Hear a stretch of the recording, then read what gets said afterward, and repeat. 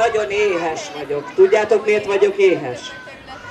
Mert van egy feleségem, akit úgy hívnak, hogy Sima Sámuelné, született Róka Rozália, és nem főz. Hallottatok már ilyet?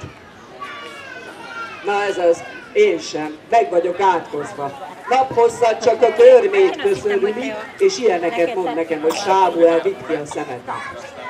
Sámuel, készíts reggelit! Sámuel, menj a boltba! Sámuel, mosogass el! Ő meg nem csinál semmit.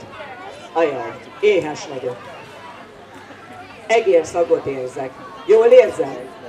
Igen, csak nem most költözik ide egy kis egér, de nem én, ó, már látom is. Ott cipekedik a békában. A békát azt nem szeretem. Túl keserű. Fúj. Ó, de ez a kisegér szép kövér. Egyem az uzáját. Hát pont a fogamra való. Na, majd valahogy a közelébe férkőzöm, csak még azt nem tudom, hogy hogyan. Ajaj, már jönnek is. Elbújok, nem mondjátok meg, hogy itt vagyok a közelben, jó?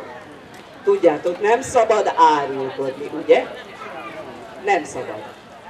Na, megyek, elbújok, így, hogy bújj. Húzd meg! Told meg! Húzd meg! Told meg!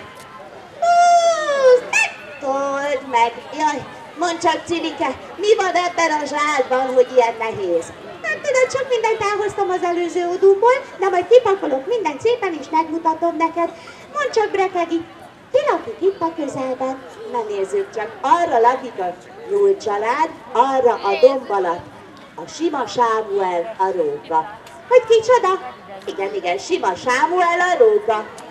Jaj! Ahó! Cilike, hová lettél?